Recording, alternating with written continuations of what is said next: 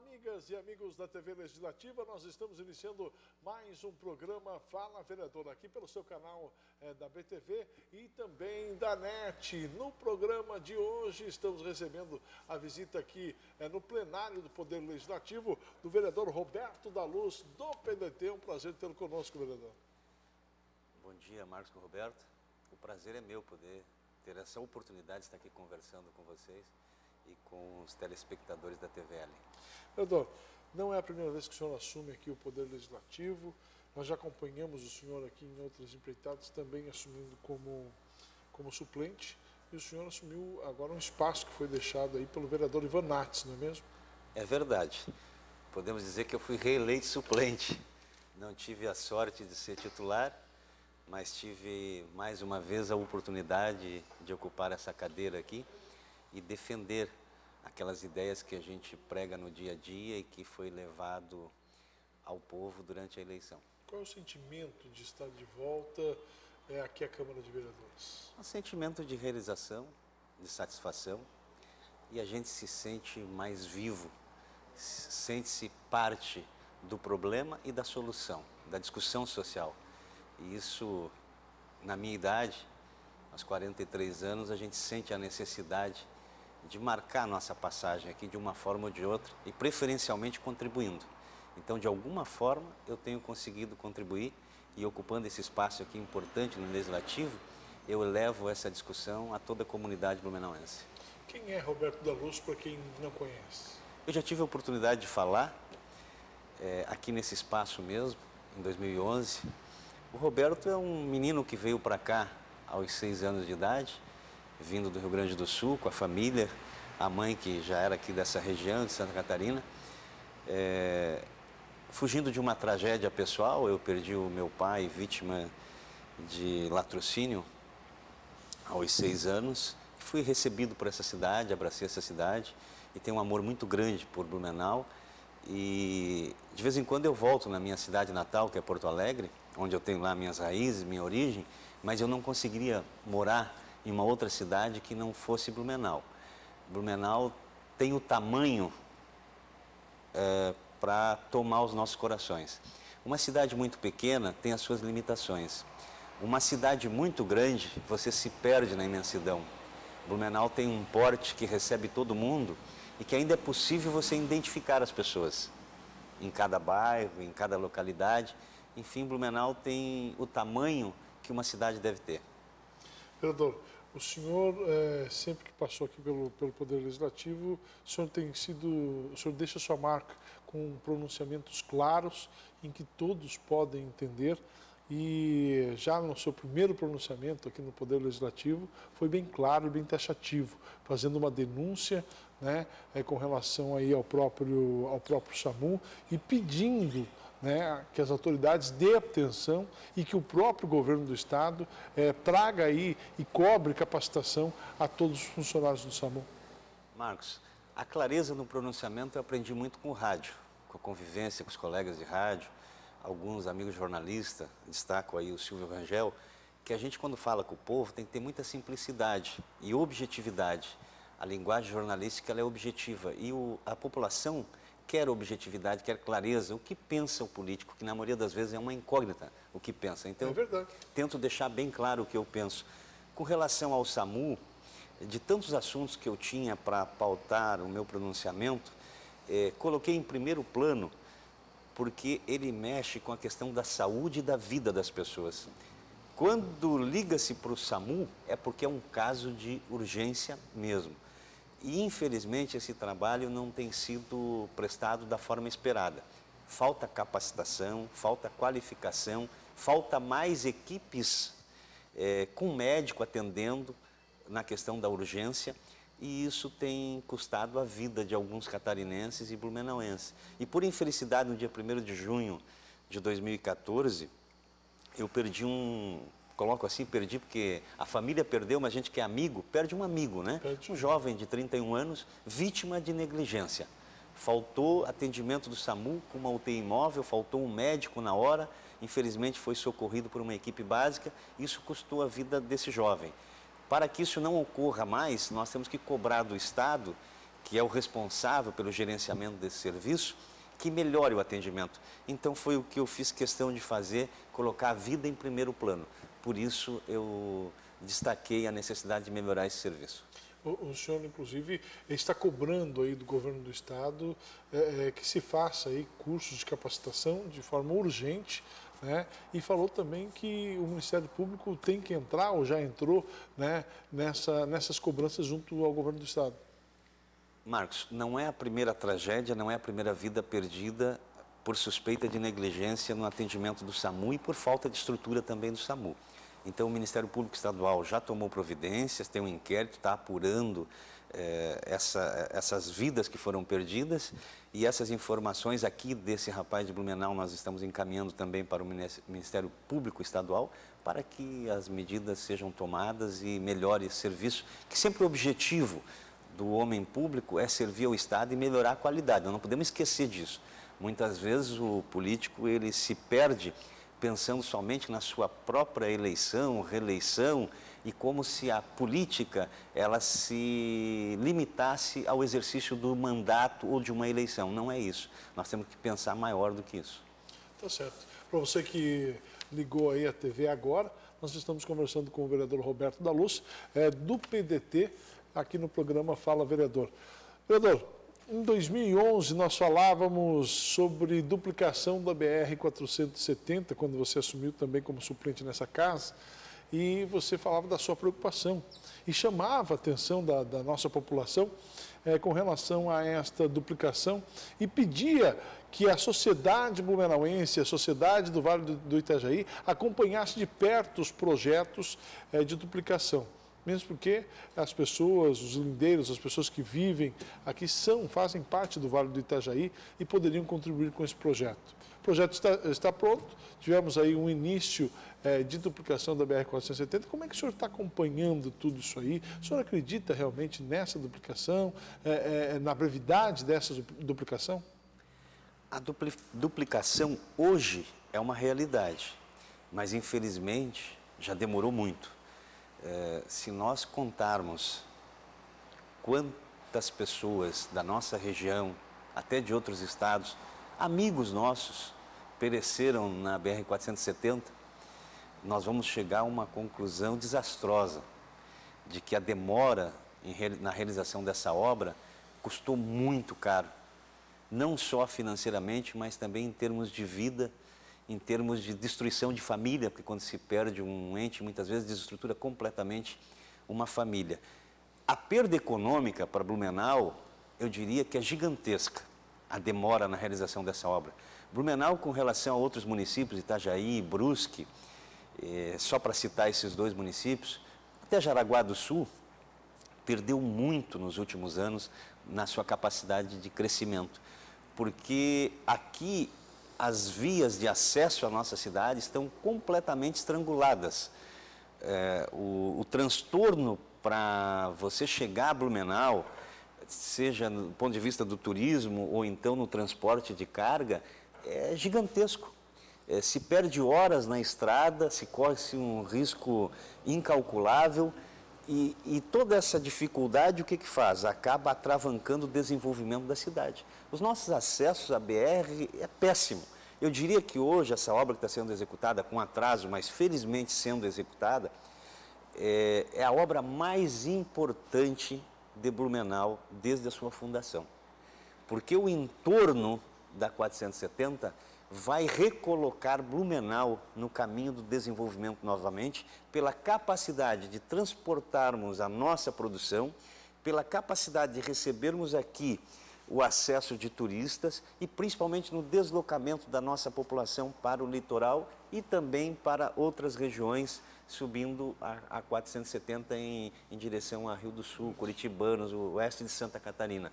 Então, é um corredor importante de serviço de transporte de riqueza. Não há justificativa para tanta demora na realização dessa obra. Felizmente, hoje, ela é uma realidade, ainda lenta. É, o debate sobre os acessos, não sei se foi o adequado.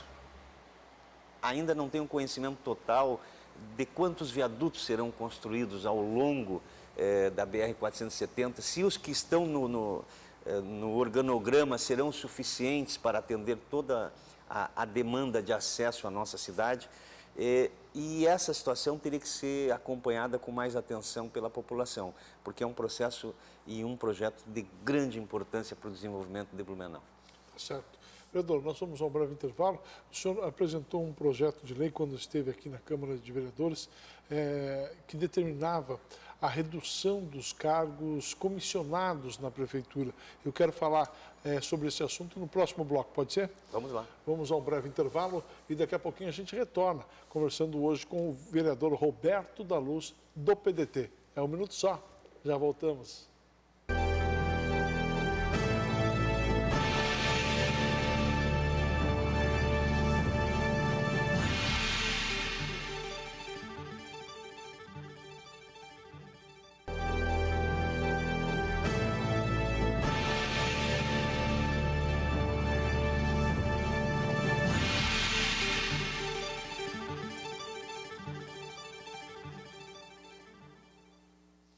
Nós estamos de volta no programa Fala Vereador. Muito obrigado pelo carinho da sua audiência. Este programa tem por objetivo discutir e debater assuntos de interesse da nossa comunidade com os nossos parlamentares e eu estou recebendo aqui no plenário do Poder Legislativo o vereador Roberto da Luz do PDT, que assumiu o cargo no lugar é, do vereador Ivan Nats, que pediu afastamento. Vereador Roberto da Luz, antes de, de falarmos sobre o projeto que, que o senhor apresentou 2011, quando, quando também aqui esteve como suplente, é, o senhor é, tem solicitado aí mais obras é, viárias é, no nosso município. Né? Tem é, é, falado muito sobre o trânsito da nossa cidade, já falava naquela época, continua falando com relação ao trânsito da nossa cidade. A questão ainda da construção de mais uma ponte no centro de Blumenau. Qual o seu posicionamento? Onde essa ponte tem que existir? Né? Qual o seu posicionamento com relação ao trânsito da nossa cidade, que o senhor tem procurado discutir bastante com a sociedade? Marcos, nós temos uma questão emergencial de melhoria na mobilidade urbana e, consequentemente, melhoria nas vias e ruas de Blumenau. Ocorre que esse planejamento tem que considerar a realidade da nossa cidade e, principalmente, ter prioridades é, nós não podemos fazer uma corrida maluca em que cada prefeito, o novo administrador, tem que construir mais uma ponte. Não é bem por aí. Nós temos que ter prioridade. É, foi realizada com muito custo, está praticamente concluída, a ponte do Badenfurt, que é um anel viário projetado, com uma via projetada, para melhorar o, acesso da nossa cidade. Então, um passo cada vez. Primeiro, nós temos que ter o cuidado de realizar aquela obra completamente, construindo as vias necessárias, alargando aquelas que já existem, para evitar, por exemplo, o estrangulamento de determinadas vias, a General Osório, a Stanislaw Schett e até a João Pessoa. Quando nós concluirmos todo esse sistema, aí nós temos que avançar para outras possibilidades de construção. Hoje está se discutindo muito a construção de uma ponte no centro de Blumenau. Eu, honestamente, penso que não é o momento e não é a prioridade. Não adianta nós tirarmos o, o trânsito aqui da Rua das Palmeiras para fazê-lo uh, ficar engarrafado ali na Ponta Aguda. Eu já levei da Ponte dos Arcos até a Prefeitura 40 minutos dentro de um carro, num dia de congestionamento no horário de rush em Blumenau. Então isso é um verdadeiro absurdo. Essa ponte pretende se construir, existe uma discussão se é um pouco para lá, um pouco para cá, 100 metros adiante, 100 metros depois, ela não leva a lugar nenhum. Ela vai, trans, vai, os carros vão ficar parados, congestionados em cima da ponte. Então tem que ter um planejamento, primeiro resolver o que já está em andamento. Depois, aí um planejamento mais amplo para a construção de um anel viário no centro que resolva essa questão e também possa retirar o trânsito da Ponta Aguda. A mobilidade ela não termina só na construção da ponte. E tem que ter prioridade não fazer várias obras ao mesmo tempo. Eu lembro, a época que estava sendo feito a ponte do Badenfurt, a via expressa precisava de um viaduto. E nós ficamos meses e meses aguardando o viaduto. E enquanto isso, várias vidas foram ceifadas tentando cortar a BR-470. Então tem que ter prioridade. um passo cada vez. Primeiro termina uma obra, depois encerra a próxima, dentro de um planejamento, dentro de uma visão estratégica de administração do município. E essa, e essa questão aí do complexo viário do Baden, o senhor ter acompanhado, ela vai realmente é, surtir o efeito que é para surtir, ou seja, minimizar os impactos no trânsito naquela região? Infelizmente, a princípio, mesmo inaugurada a ponte, ela não vai resolver o problema do trânsito. Pelo contrário, a tendência é agravar o trânsito naquela região, Rua Bahia, General Osório, que são vias, inclusive, que estão precisando de melhor manutenção, a Stanley Lauchete e a João Pessoa. Porque há uma via projetada que não foi realizada ainda. Inclusive o prolongamento da Humberto de Campos. Tudo isso vai ter que ser executado para ter efeito, ah, de fato, a construção daquela ponte do Badenfurt. Vereador, mudando um pouquinho de assunto, quando o senhor assumiu aqui a cadeira eh, no parlamento em 2011, o senhor eh, acabou apresentando um projeto de lei. Ah, aliás, as suas manifestações sempre foram nesse sentido, eh, com relação à redução dos cargos na prefeitura, em especial os cargos comissionados.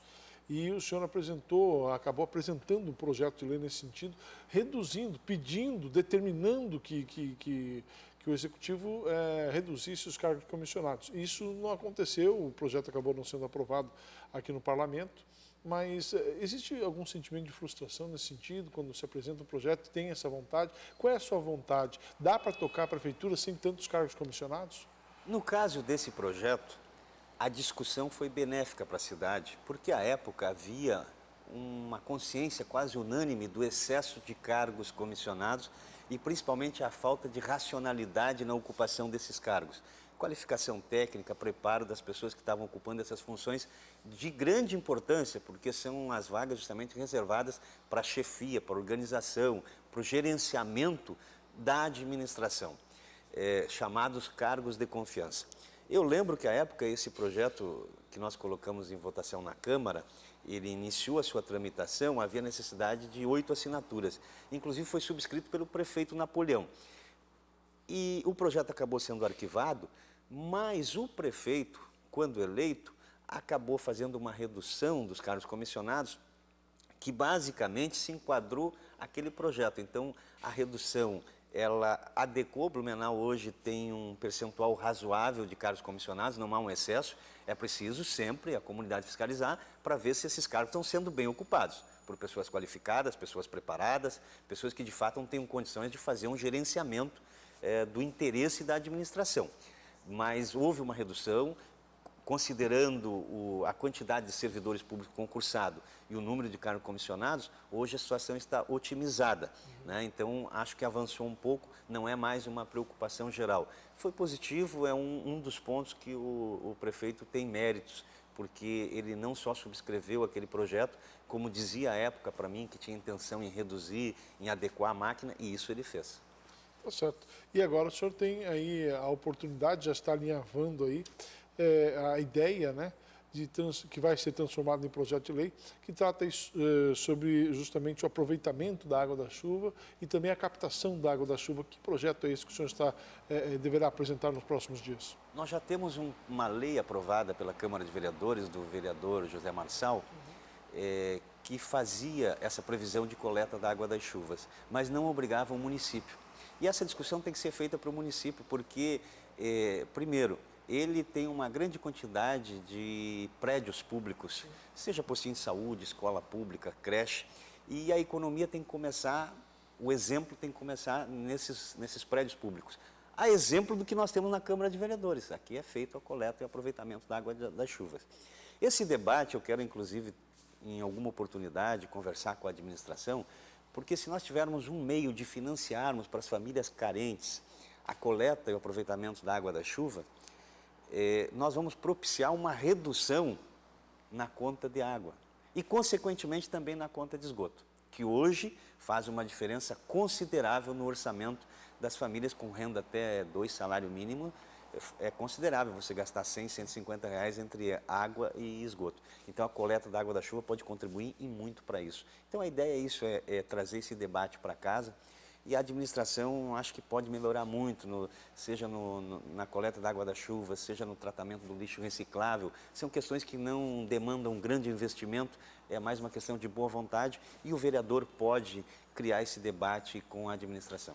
Certo. E, e com relação a esse projeto, o senhor deverá primeiro conversar com, com o executivo para ver a forma de aplicação, é isso? Nós já temos uma ideia do projeto, mas eu conversei com o líder do governo Sim. e vamos trocar uma ideia para ver o prazo para implantação disso. Sem, nós não queremos criar problema para o governo, nós queremos trazer solução.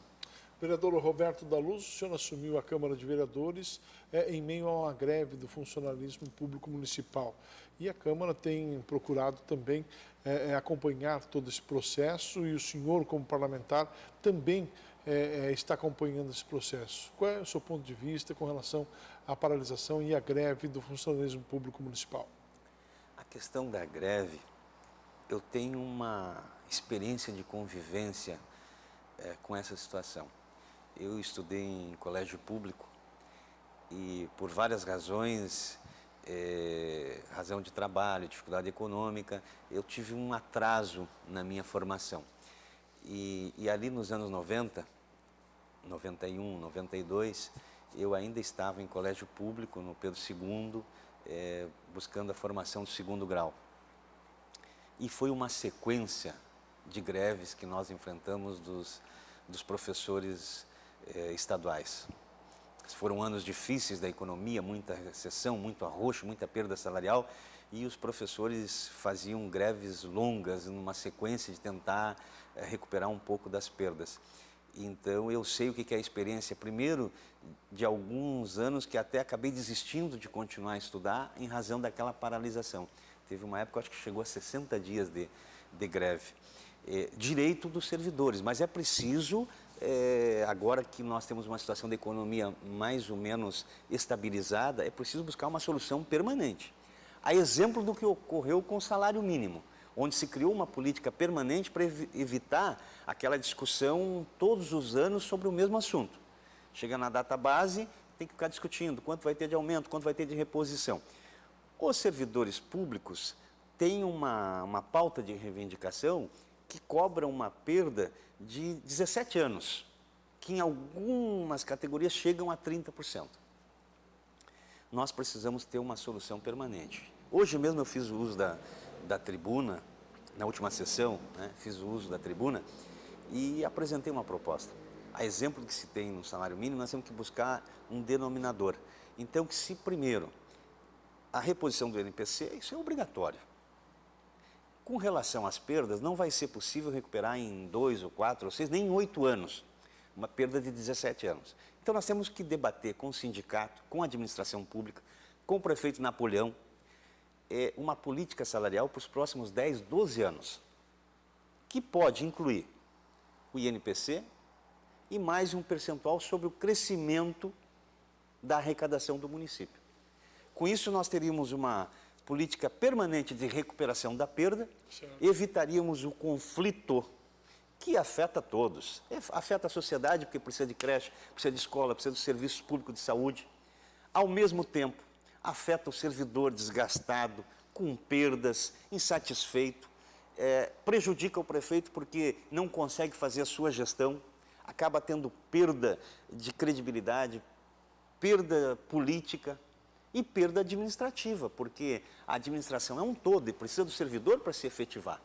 Então essa frustração é ruim para todos. Nós temos que criar uma política permanente e a Câmara pode ajudar a criar essa política permanente. É o que eu estou sugerindo dessa casa e a administração pública municipal, que se crie uma proposta permanente, não para se resolver a situação da greve de forma imediata, mas que num prazo a médio e longo prazo tenha-se uma solução. Vereador Roberto da Luz, foi um prazer conversar com o senhor aqui no Fala Vereador. Espero contar com o senhor aí em outras oportunidades. Prazer foi meu. Espero que em outra oportunidade eh, eu possa comparecer aqui no exercício pleno de um mandato, podendo contribuir com as discussões da nossa sociedade. Ok, vereador. Sucesso. Obrigado. Conversamos com o vereador Roberto da Luz, do PDT. Fala, vereador. Fica por aqui. Obrigado pelo carinho da sua audiência. Fala, volta na semana que vem conversando com outro parlamentar blumenauense. Um abraço a todos. Até lá.